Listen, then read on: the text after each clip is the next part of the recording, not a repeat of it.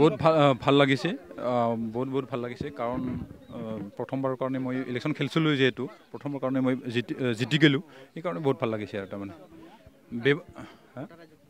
Voter ৰাইজক আৰু আমাৰ দলৰ তিনিটা দল U P P L B J P আৰু জি এছ পিৰ কৰ্মকৰ্তাসকল আৰু অসমৰ মাননীয় মুখ্যমন্ত্ৰী ডক্টৰ হিমন্ত বিশ্ব- শৰ্মা আৰু আমাৰ বি টি চি প্ৰধান সন্মানীয় প্ৰমোদ বড়ো আৰু কৰ্মকৰ্তা আমাৰ দলৰ কৰ্মকৰ্তাসকল আৰু আমাৰ ৰাইজ সমষ্টিবাসী ৰাইজক মই ধন্যবাদ যাচিছোঁ।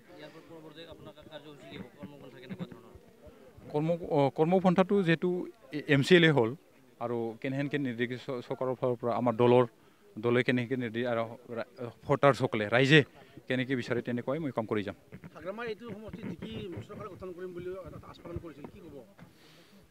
সি- সমষ্টি এই মাত্ৰ কোৱা নাই তেখেতেতো আৰু বি টি আৰৰ চৰকাৰো গঠন কৰিব বুলি কৈ আছিল। এইটো ৰিজাল্টটো ডেৰ বছৰ আপোনালোকে পাই থাকি পাই আছে আৰু সেই- ইয়াৰ ৰিজাল্টটো আপোনালোকে পালাক এতিয়া আৰু মোৰ ফালৰ পৰা ক'ব লগা নাই আৰু। উত্তৰটো উত্তৰটো আপোনালোকৰ হাততে আছে। সেইটো